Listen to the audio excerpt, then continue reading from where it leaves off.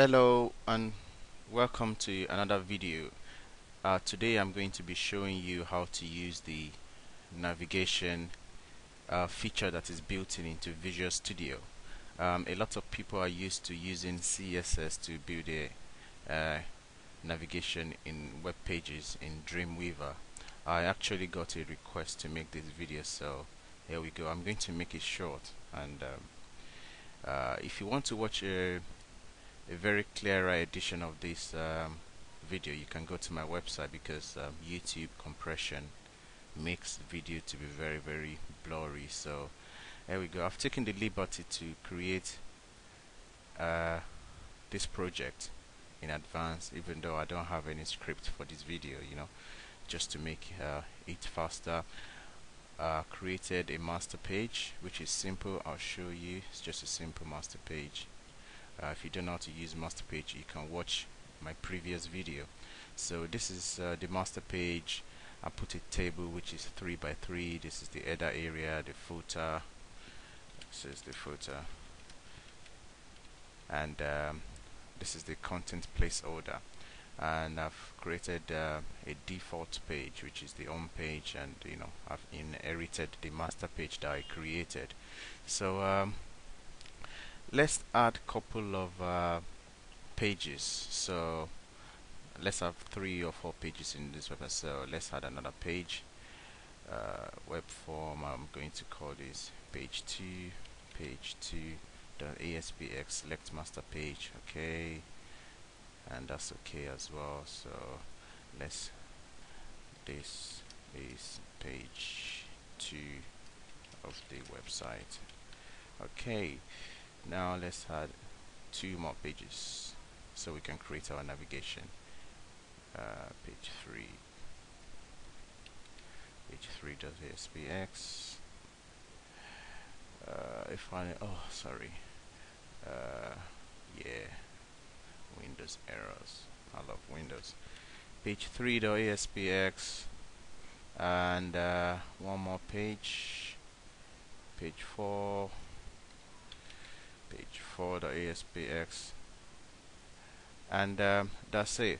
So let me okay page 3 let me show you. Okay.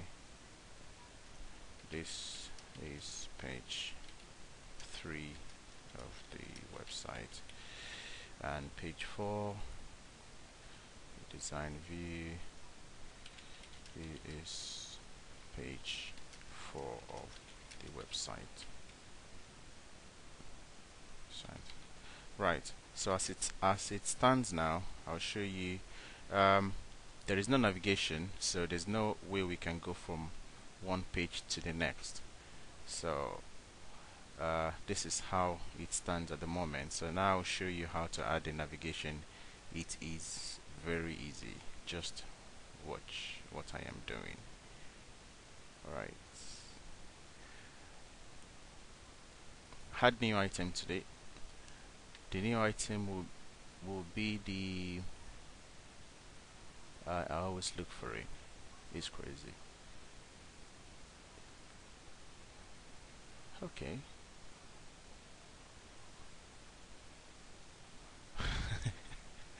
This is crazy. Web crystal global sitemap. Ah oh, look at me. I'm looking for.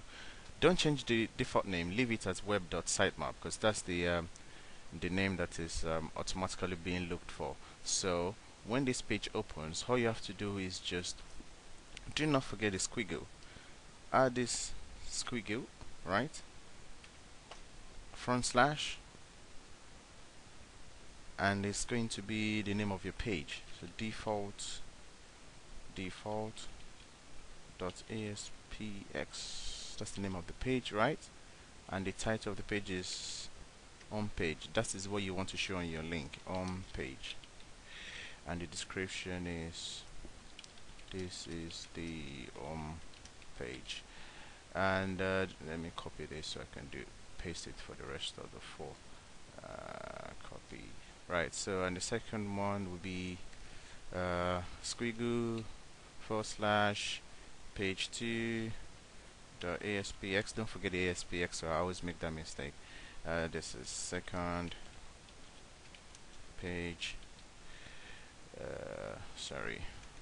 Oh crazy. Right so the description will be this is the second page. Right so let's do that for page 3 and page 4 the URL will be this squiggle forward slash page 3.aspx title is third page third page and description this is the third page oh and number four will be squiggle forward slash page 4.aspx and that will be fourth page and description is this is the fourth page. Okay so now that we have the site web.sitemap so um, what we do now is go to your master page put the cursor where you want to put the navigation. Uh, actually let me set this to you know uh, style. Uh, that will be the box you know. That will be the block and align text align. I want it to align at the top. Uh, vertical line sorry. That will be the top. Okay. Right so go to navigation and just drag the menu over there. Uh, yeah it's taking some time you know we have to wait. It's Microsoft. Right. So um, what you want to do is you want to choose the data source yeah? So this is new data source. Sitemap remember what we name it is a sitemap that we created so just click OK. Don't worry too much about it. That one is done. So what you want to do now is go to your menu make sure this the menu item is selected then go to it. It's going to ask you static display level. You want to put value 2 in there. So can you see? That's the magic. Ha ha ha. Now let's run the website and see what we've done. Let's hope we will not get any error. And I don't think there's any error so. Uh, okay. Now we have the navigation right that's the navigation. Home page second page third page fourth page. Can you see that? Yeah it's very easy. So if you if for example you had another page let's add another page and show you.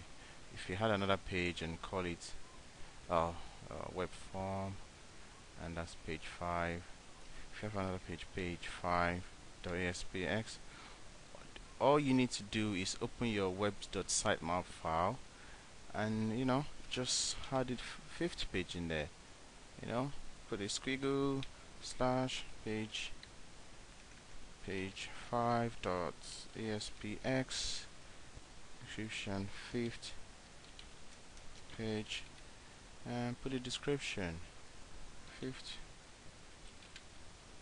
page. And um, let's run the website. You see that the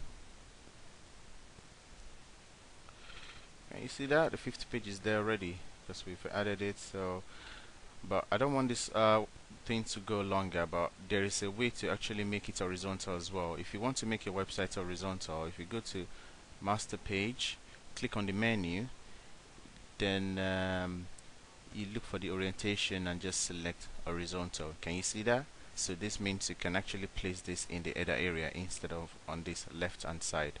So that's it really. So let's try that and see how it looks. Actually it looks good you know. Right. Uh, let's see let's see. Yes we are ready. Okay. That's it from me. Now I have to stop it because uh, if it's longer than 10 minutes YouTube might not allow me to upload it. So thank you very much. Come back here I'll upload more videos